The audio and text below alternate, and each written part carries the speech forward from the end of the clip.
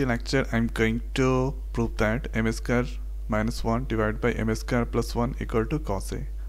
The given cosec a plus cot a equal to m. So let's see the answer. So first you are writing the given. Cosec a plus cot a equal to m. Taking the LHS now left hand side so here m square a minus 1 m square plus 1 now thereafter let's put the value of m. So writing here cosec a plus cot a whole square. Minus 1 write that. Then after here cosec a plus cot a whole square plus 1 so after doing this here we know this one formula. We can write cosec square a minus cot square a equal to 1 and suppose this is here a here b. So this is the form of a plus b whole square. So that is equal to a square b square plus 2ab so writing this here this is this breaking on the form of a plus b whole square. So writing cosec square a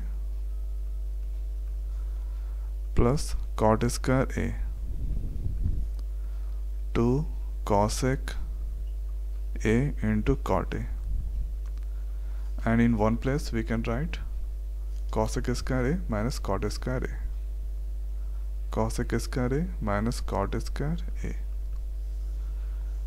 In the denominator doing the same so cosec square a plus cot square a. 2 cosec a into cot a. Here one place we can write cosec square a minus cot square a. One place. So one value this is one value and this breaking on the form of a plus b whole square so after doing this here square a cot square a that cancel and uh, here writing numerator once again. Cosec square a here cot square a 2 cosec a. Cot a minus multiplying with this all. So minus cosec square a plus cot square a so here minus cot square a minus cot square a that cancel. Here cosec square a cosec square a that add to cosec square a here 2 cosec a into cot a.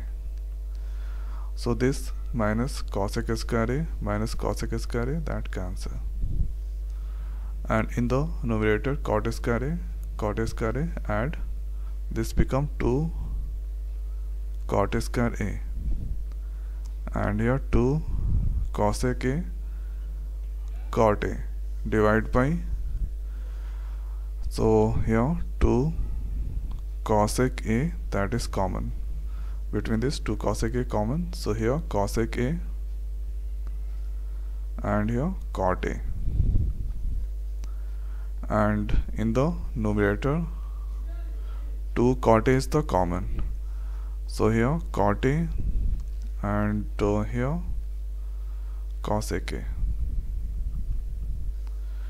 and here in the denominator 2 cos a so this we can write cot a first and here this we can write cos a next. This is the same cancel 2 to cancel. So now you can get here cot a divided by cos a so cot a we can write cos a divided by sin a. And here cosec a we can write 1 by sin a. So this is the form of p by q x by y. So pq and here y would move up. So yx so now this we can write here cos a divided by sin a this sine a move up here 1 sine sine cancel there you can get cos a so here we need to make that cos a so now we can write LHS equal to RHS equal to cos A. It's approved. So this is the way we can prove this question. So here this formula required, this formula required, use this formula, put the value after doing the calculation then you can get RHS. So now in this video it's over. So thanks for watching. See next video. Thank you.